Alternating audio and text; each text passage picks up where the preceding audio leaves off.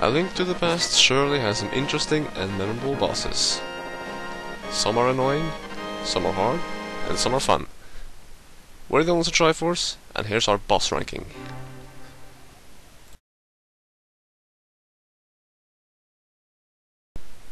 Of course, at the bottom we have Moldorm.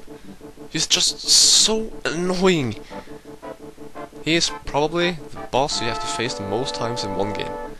Not because he's so hard that he'll kill you, but because he knocks you down the floor if you bump into him. And therefore you have to start the fight all over again. But there's a good feeling about him, and that's when you finally defeat him. Oh, and one more thing. Why in the world is this worm at the very top of a tower? How did it even get there?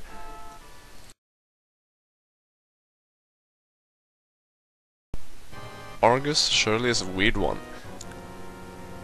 It's a jellyfish covered in something that I and my brother used to call meatballs. We really like multiple phases in a boss fight, and this one has two. The first one is the tougher one, as he likes to send out his meatballs in circles, hoping to land a hit on you. When you're done with him, he jumps down into the water and just flows around in very high speed. Just use your sword to slash him, and you'll eventually defeat him.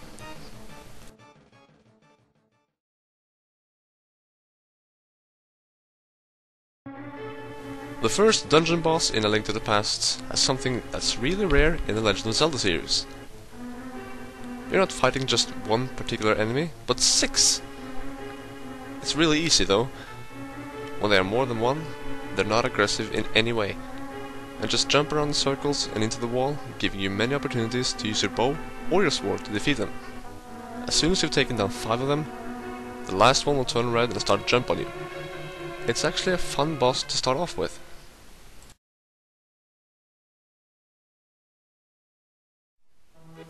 The boss in Skullwoods. This fight can be very tough. You always have to pay attention to which direction the floor is moving, where Mothula is, when and which way the blade traps are running, while avoiding Mothula's attacks. Definitely not an easy boss for everyone. Even if the boss is tough and gives you a challenge, like we normally enjoy, you just have to ask why we are fighting a moth. Eula. Its appearance and name isn't really something we look at as awesome, but we can't take anything away from the fight itself.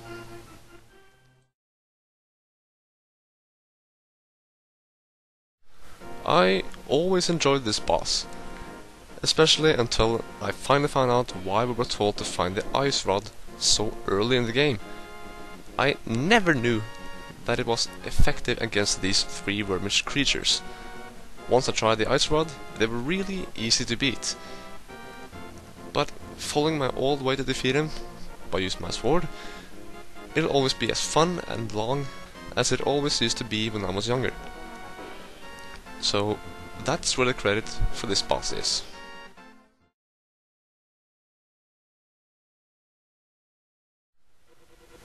A pretty fun boss. It consists of two phases, but what's annoying about Kholdstare is that you won't get to the second phase without enough magic to get him out of the ice. Unless we're just retarded and haven't found out another way yet.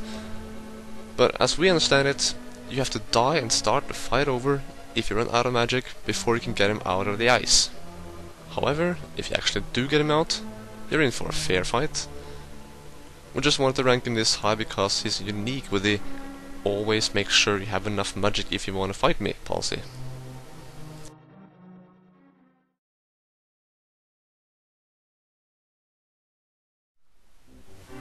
This boss is really disgusting, but not really hard. Why he is a boss so late in the game is questionable. All you have to do is destroy the eyeballs jumping at you, while avoiding the lightning coming out of the biggest one there. When there are four eyes remaining just sitting there, the biggest one will come out and you'll just have to hit him with your sword many times. This phase is real simple, much like the Arrghus fights, but for some reason we like this one better than many others in the game.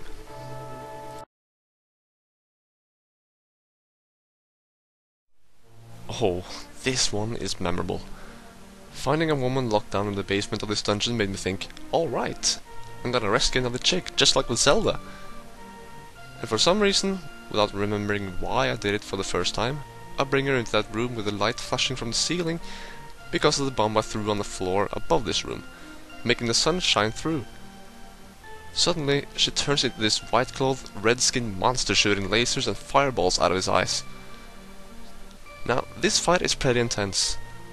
When you hit him enough times, his head will float around by itself, while another one comes out of the shirt. This continues until two heads are floating around while there's a third one on the shirt. Constantly avoiding two heads shooting fireballs in addition to the one you're already trying to attack makes this one a very fun or frustrating boss, which is sure to be remembered.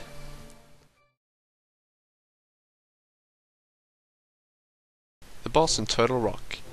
I remember having so much trouble with this one back in the days when I didn't know how to upgrade my Master Sword. I always thought it was tough, but when we played it together last year, it was surprisingly easy. I guess this difficulty varies much when it comes to your equipment. Of course, when we first tried him for the recording of this video, we forgot the Ice Rod. The Fire and Ice Rod are essential when it comes to beating this boss. You need the right equipment to fight this boss, which is fine, but we also just love how he is. How he looks. He's just awesome.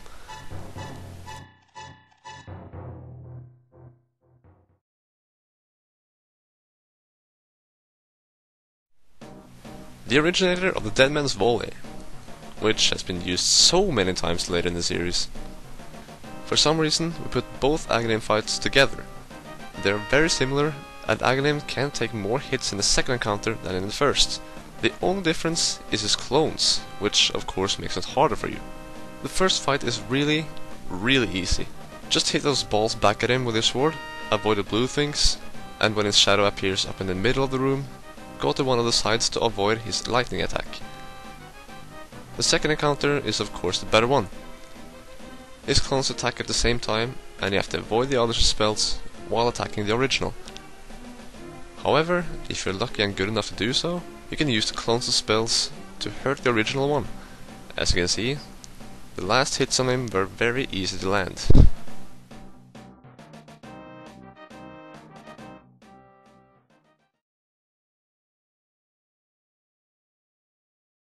This masked monster is so freaking awesome. It looks really cool and the fight is both fun and tough. When we played this together, I was surprised over how easy it is to die against him. Why did I die so often?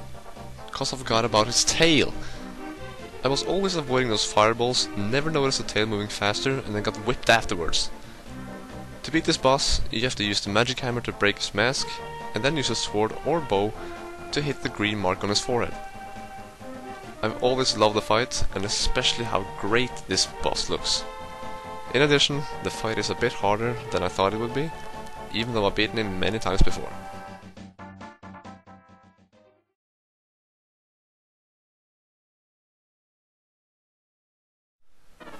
Of course, the final boss. And this boss fight is actually very good. You have to concentrate on more things here than you usually do in other final boss fights in the series. You have to avoid his trident that he throws around, his fireballs circling around, and make sure you don't fall down after he removes some of the tiles on the floor. After this, he puts the fire out of the two torches in the room, which you have to light up if you want to kill him. Hit him with a sword so that it freezes, use your silver arrows, light up the torches again and repeat. If you have the gold colored sword, this fight will be exciting enough. The lesser level of your sword, the longer the fight. Like when I still had the Master Sword the first time I encountered him. Great final boss.